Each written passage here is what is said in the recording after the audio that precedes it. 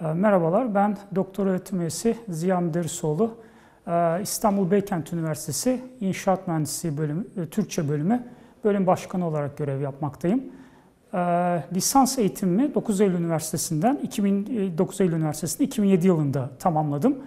Yüksek lisans eğitimimi İstanbul Teknik Üniversitesi'de deprem mühendisliği programında 2009 yılında tamamladım ve e, doktora derecemi 2017 yılında yine İstanbul Teknik Üniversitesi'nden deprem mühendisliği programı üzerine e, tamamlamış bulunmaktayım. E, üniversite dışı deneyimler kapsamında e, çeşitli proje firmalarında ve de e, şantiye uygulamalarında e, bulunma durumunda oldum.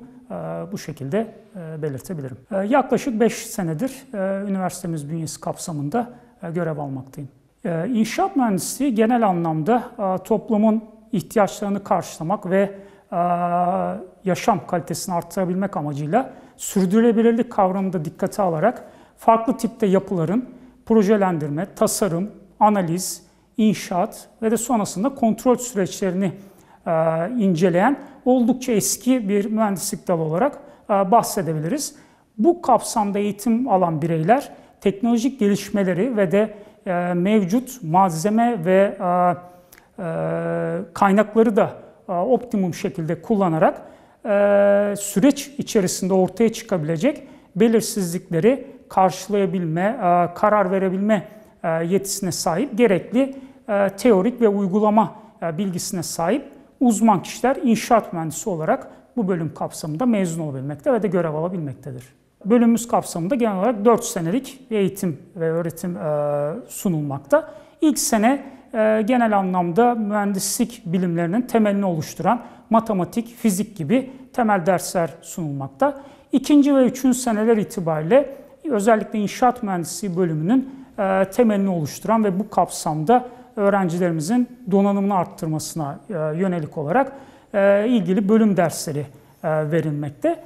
Son sene ise daha çok bu alınan eğitimlerin ve de bilgilerin uygulamasına yönelik bitirme çalışmalarımız ve de uygulama projelerimiz e, mevcut olmakta. Bu kapsamda öğrencilerimiz 4 e, sene boyunca e, müfredat kapsamında olan zorunlu ve seçmeli dersleri ilave olarak yine özellikle son sene inşaat mühendisliği bölümü kapsamında farklı uzmanlık alanları doğrultusunda kendini geliştirebilecekleri uygulamalı ve de seçmeli dersler alabilmekte. Bunların sonucunda 240 AKTS ve de minimum 2 e, olacak şekilde genel not ortalamalarını tamamlayarak e, mezun olabilmek şansına e, sahip olabilmektedir. İnşaat mühendisliği bölümü kapsamımızda stajlar genellikle ikinci sınıfın sonunda ve de üçüncü sınıfın sonunda olmak üzere minimum 40 gün olacak şekilde ofis ve şantiye stajlarını öğrencilerimizden yükümlülüklerini yerine getirmelerini talep ediyoruz. Bu kapsamda öğrencilerimizin kendi imkanlarıyla bulabilecekleri staj olanaklarına ilave olarak ulusal staj programı şu anda geçerli olan ve de yine e, özellikle e, akademik kadromuz bünyesinde bulunan hocalarımızın e, birçok sahip olduğu deneyimler doğrultusunda da yönlendirerek farklı staj imkanları bulabilmelerine yardımcı oluyoruz.